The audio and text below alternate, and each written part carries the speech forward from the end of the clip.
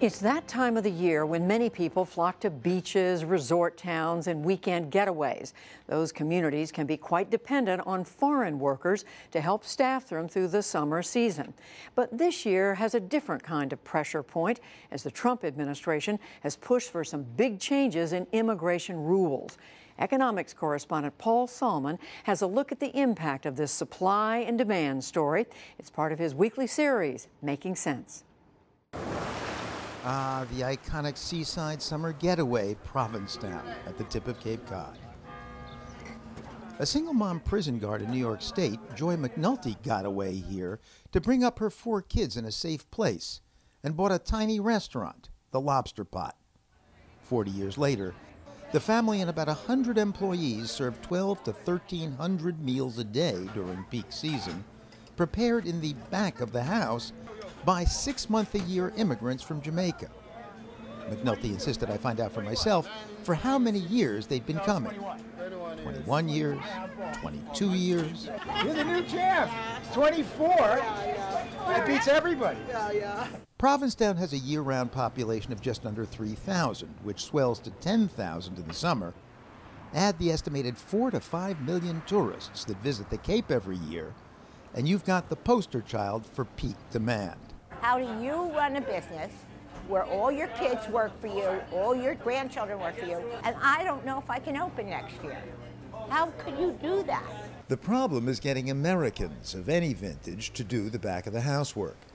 So businesses here rely on foreigners, says Jane Nichols Bishop, known as Mama Visa to the workers.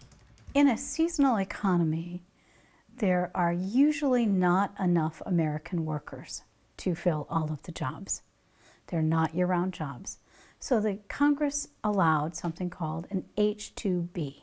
Which allows half-year work if no one else can be found and must be renewed annually for temporary positions like hotel housekeepers and restaurant workers. In the past, Congress has made 66,000 of these visas available annually nationwide. And workers with previous H-2Bs, like almost everyone here, could return without being counted against that limit but not this summer. Congress did not pass the returning worker exemption in the continuing resolution to fund the government, which is where it's always been. And because they didn't do that, the number of visas available was greatly restricted. So there are not enough visas for all the employers to bring in their temporary workforce. The Department of Homeland Security did add another 15,000 visas last week, but with the exemption gone, the total number of H-2Bs is way down, and with employers having to prove irreparable harm to get one of the additional visas, the paperwork that might or might not get a worker in has mushroomed. What an irony for a supposedly anti red tape administration, says Congressman Bill Keating, who represents the Cape, though, of course, he's from a district even bluer than its fish. The fix is staring us right in the face. It's just raise the cap on returning workers. We've done it for the last 11 years. But, they just, but they just did it now. They... No, they didn't. They created a whole new series of regulations and requirements that would scare any small business person into not using this. Really? Because uh, of politics. It's impossible to run a business when you don't know if you're getting 43 of your 96 people. The rest of them are all Americans. This year we will open six weeks late. Last year we opened six weeks late. Next year we may not open at all. We don't know. Dee Yingling got none of the requested 26 H-2B workers for nearby Bubala's by the Bay. It's been next to impossible. We've had to close days, we've had to shorten hours. And a corollary problem, say restaurateurs like Yingling and Mac Hay of Mac's Seafood, is that if and when they close, I'd have to lay off, you know, way more than half of the workforce that I have now. American, American workforce. And look, they say it's not for lack of trying to recruit natives, that is. In fact, the H-2B application requires employers to offer the jobs locally. I advertise on the internet. I advertise in every job fair. We advertise in every newspaper. Everyone on the entire Cape knows that we're all looking for help. There's nobody here. They will not take seasonal dishwashing and cook jobs for anything. But wait a second, counters H-2B skeptic Jessica Vaughn of the Center for Immigration Studies. I don't think there's any such thing as a job an American won't do. There are millions of workers in the United States who are not employed, and we need to find a way to match them up with some of these opportunities as well. Employers just aren't trying hard enough, Vaughn insists, while driving down wages and maybe even working conditions. More and more, she says, teens and those with a high school diploma at best. Employers should look to those workers first before they take the easy route out and bring in workers from overseas. I have no issue, no problem. That I would prefer to do that trying to bring workers from uh, you know, Jamaica or Mexico is incredibly challenging, incredibly expensive. Mac Hay worked in kitchens on the Cape since he was 12, now owns six businesses, restaurants and seafood markets. The pay? A dishwasher is $12.50 to a cook can make $17, $18 an hour plus overtime. Not bad. So why aren't these summer jobs for students? The majority of them leave August 12th or August 13th or August 14th. We have a 10-week season.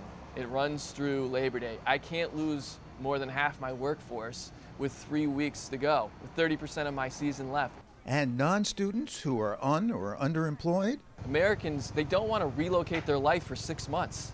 They don't want to move down, but if they're willing to do it, I'm more than happy to hire them. Like Joy McNulty at the Lobster Pot, Mac Hay utterly depends on visa workers. Egan Bonney's been with him for 10 seasons. I do cleaning, clean the restaurant, and do all kind of job which no American kids would come and do. These grease shop here, if filthy grease shop, no young kids gonna come around and do this stuff. Keep everything nice. Clean the bathroom. Because they're spoiled? You know, they're, they're spoiled. Seriously, they're spoiled. Really?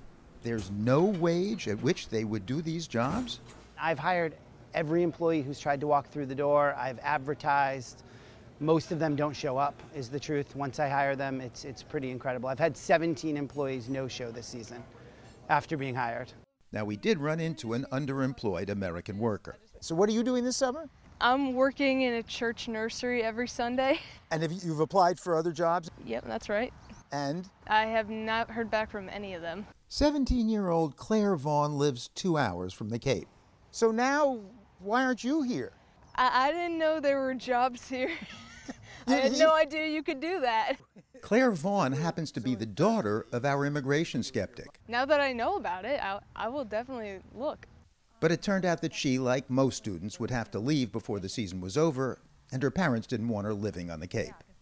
And so we come to the bottom line. Bubba's is down 10% and may actually lose money this year. Mac Hay worries about next year. And the lobster pot? In the six weeks it had to close, it bought a lot fewer lobsters from local fishermen, hired fewer Americans for fewer hours. All of the Americans are out of work for six extra weeks.